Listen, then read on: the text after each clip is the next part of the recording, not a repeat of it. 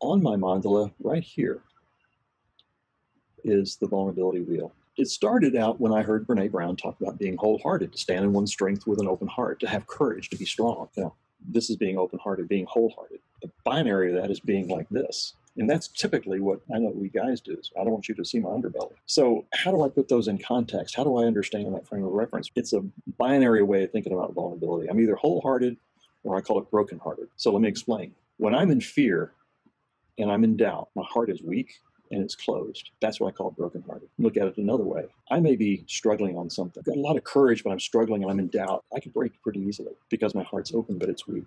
In contrast, I could have an angry heart. It could be closed, it's strong, and I'm being defensive. Well, what's underneath that? Yes, I'm demonstrating my strength, but deep down inside, it's fear. And I'm defending myself. So that's between strength and fear, the angry heart. So you get a sense on how you can interpret the wheel. Powerful part of it for me is that at any point in time, I'm somewhere on this wheel. If I'm conscious of that and use this, have this mental model here, now I've got choice.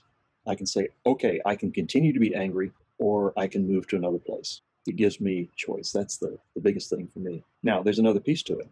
There's me and there's you. Each one of us live on a vulnerability wheel. I may show up in conversation with you being wholehearted, but for whatever reason, you're angry. You're, you know, you're demonstrating your strength. You're in fear, and it's always important to recognize that. Oh, okay, I'm somewhere on the wheel, and I've got choice, and you're somewhere on that wheel. And if you know about that, then you too have choice. And we come together. If I can stay wholehearted, if I can hold space for you, knowing that something bad is happening, I can hold space long enough. There's only one place that you can end up, and that's wholehearted too. So the key of it is first how to interpret. Second, know that I'm somewhere always. Third, that I have choice. And fourth, that you have the same.